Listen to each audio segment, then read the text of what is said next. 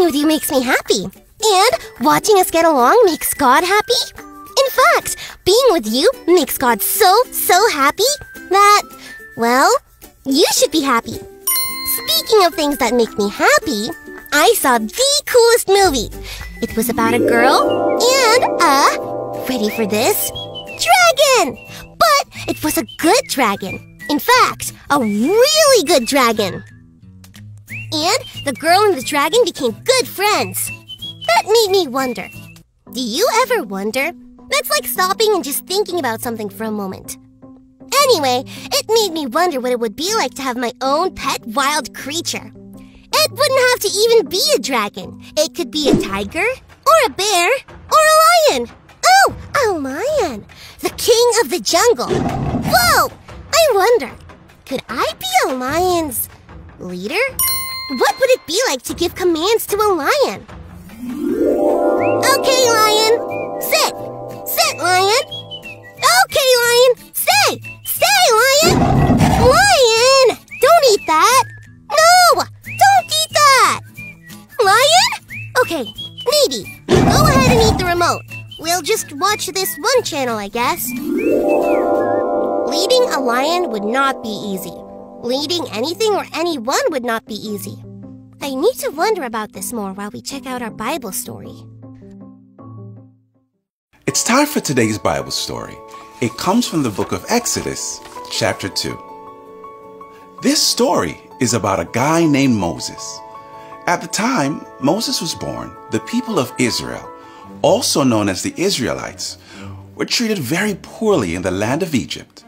The king of Egypt, Pharaoh, made a terrible law that all Israelite baby boys, like Moses, had to be thrown into the Nile River.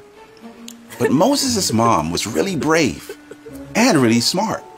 She did put Moses in the river, but it was inside a basket.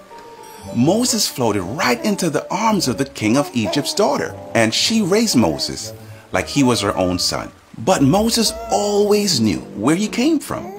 One day, when Moses had grown up, he saw an Egyptian man hurting an Israelite man. Moses got mad and killed the Egyptian. Because of this, he had to run away to a place called Midian. Many years later, Moses was out watching over some sheep when he saw a bush that was on fire. But it wasn't burning up. There was no smoke, and the leaves looked absolutely fine. Moses was surprised to hear God speak from the bush. God told Moses that the people of Israel had been suffering for many years in Egypt and that it was time for them to be rescued. God told Moses to go and free the people. Moses didn't feel like he could do that. It was a big job and he didn't know how to do it. God promised to be with Moses and taught him exactly what he should say to Pharaoh. Even though Moses didn't think he could be a good leader, God showed him the way, and God will do the same for us.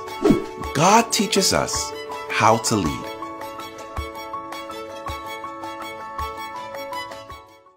Moses! Moses did not seem like the right guy to lead, but God taught him how. That was a super big job to do. Can you imagine? He had to lead a whole huge group of people, he had to take them away from a dude who didn't want to let them go. That would take some serious leader skills. Kind of like leading a lion. Hey, I wonder if God can teach Moses to lead the Israelites, then maybe God can teach me how to lead a lion. Okay, lion, sit. Now, stay. Good. Now, lion, grab the remote and put on some cartoons. Leading a lion would be fun, that's just pretend. Sometimes, in real life when I'm with my friends, I do get nervous about leading. I think things like Moses thought. Why would they listen to me? Do you ever feel that way? It's okay to feel that way. But we can remember that when it comes time for us to lead, God will teach us how.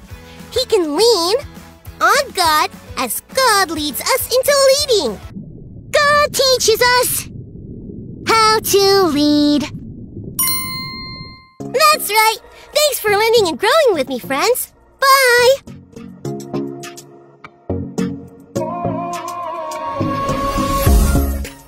Psalm 25 4. Show me your ways, Lord. Teach me your paths.